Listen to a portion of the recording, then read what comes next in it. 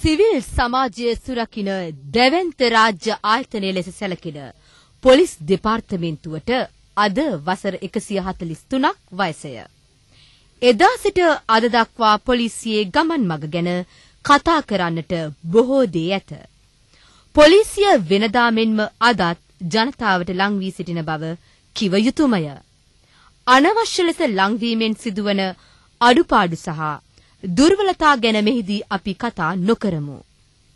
අධ්‍යාපනය ගැන විග්‍රහයක යෙදෙන අධ්‍යාපන මනෝවිද්‍යාඥයන් කියන්නේ අධ්‍යාපනය තිඹිරගෙයි සිට සොහොන් කෙත දක්වා අවශ්‍ය කරන විෂයක් බවයි. පොලිසියද තිඹිරගෙයි සිට මරණ මොහොත දක්වා මහජනතාවට නැතුවම බැරි සේවයකි.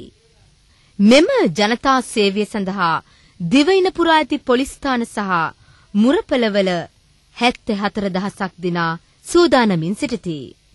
පොලිසියට හොඳ කියනවාට සමහරු කැමති නැත. එයට හේතු නැත්තේද නොවේ. අතරින් පතර පොලිසියේ මහත්වරුන් කරන නපුරු වැඩ නිසාත් පොලිස් ලොක්කන්ගේ බලය ඔලුවටගත් චණ්ඩි ස්වරූපයෙන් හැසිරුණු නෝනලාත් ගැන කතා පැතිරෙමින් පවතී. ඒවායේ සත්‍යක්ද තිබේ.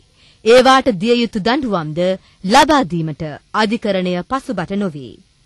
එහෙත් සමස්ත පොලිස් සේවයම සිද්ධීන් දෙක තුනක් නිසා අගෞරවයට ලක් කිරීමට තරම් කිසිවෙකු සූදානම් නොවනු ඇත. දේශපාලන බලවතා ආරක්ෂා කිරීමේ සිට පදික වේදිකාවේ දිවිගෙවන අහිංසක හිඟන සහෝදරයාගේ දුක බලන්නට පොලිසියට අයිති රාජකාරිය වෙයි. ත්‍රස්තවාදයට යට වූ රටක රණවිරුවන්ට වගේම පොලිසියටත් පැවරී තිබුණේ ඊටමත් දුෂ්කර කාර්යකි. අවුව වැස්ස දෙකම ගණන් නොගෙන මහා මාර්ගයේ ආරක්ෂාව සැලසීමේ දුෂ්කර රාජකාරිය පැවරී ඇත්තේ පොලිසියටය. වාහන නවතා සියලු දේ පරීක්ෂා කොට ආරක්ෂාව ස්ථිරව තහවුරු කර ගැනීම ඉතා සිහිබුද්ධියෙන් හා උනන්දුවෙන් කළ යුතුය. එසේ රාජකාරී කරමින් සැක කටයුතු බොහෝ දෑ සොයා ගැනීමට පොලිසිය දායකත්වය ලැබුණේ. එසේම මුරකපොල්ලේදී සැප වාහන නවතා පරීක්ෂා කරන විට එම වාහනවල සිටින ලොකු ලොකු මහතැන්ලා සහ නෝනලා දමන ගෙම්බර්ද පොලිසිය ඉවසා සිටිය යුතුයමය.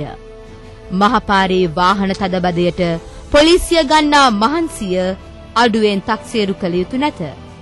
අපරාධකරුවන් ඇල්ලීමට අපේ පොලිසියට ඇත්තේ දැඩි දක්ෂතාවයකි.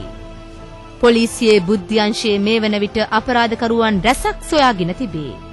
පාතාල මර්ධනයට දැන් පොලිසියේ විශේෂ කාර්ය බලකාය අතගසා තිබේ.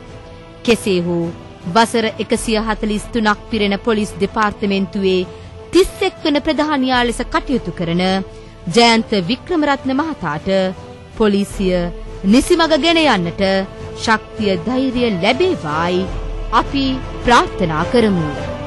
දිවසම සටහන මහින්දා බේසුන්දරගේ